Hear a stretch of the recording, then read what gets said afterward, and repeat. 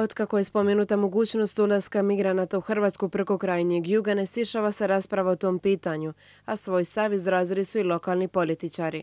Po moje mišljenje glede mogućnosti da bi se izbjeglice pojavile na području e, ovog dijela naše županije, to mislimo na području bivše općine Dubrovnik, da bi to bila dugoročna katastrofa za ovo područje. Mislim da bi se moralo jako vodi računa ko uopće prolazi kroz zemlju, a ne da ne kažem ko ulazi. Činjenica jedna je da u odnosu na cijelu situaciju treba biti spreman. Ako se to dogodi i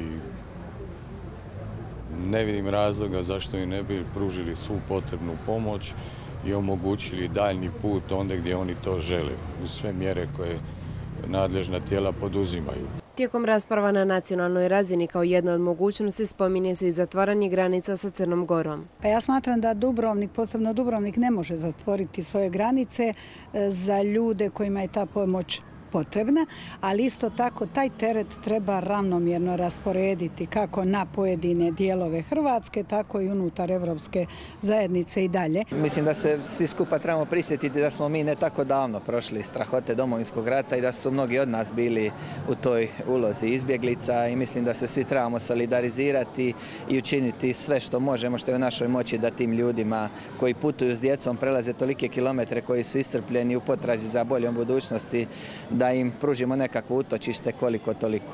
Preuređenje vojnih objekata na Prevlaci započelo je prije nekoliko dana, koja će im biti namjena i još nije razjašnjena. Kad je u pitanju prevlaka, uređivanje prevlake za mogući dolazak izbjeglica, odnosno migranata, ne vidim da je iznenađujuće, a ne znači da će oni doći ovaj, na to područje i biti stacionirani. Osim toga morate biti spremni jer se radi o granici. Ta ideja sa prevlakom je idiotska ideja koju treba odbaciti na svaki mogući način.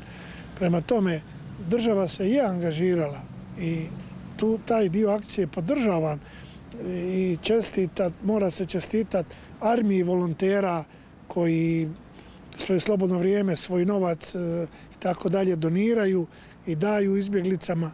Međutim, mi nismo mjesto gdje bi oni trebali uopće prolaziti, a još manje eventualno stacionirati se. Dopustit ću da neko drugi o tome e, govori više, ali e, isto tako, ma koja god to lokacija bila, e, treba, treba se osmisliti, treba se pripremiti i treba se do u detalje znati tko, što, kad i kako treba raditi. No dolazili migranti doista na krajnji jug još nije poznato.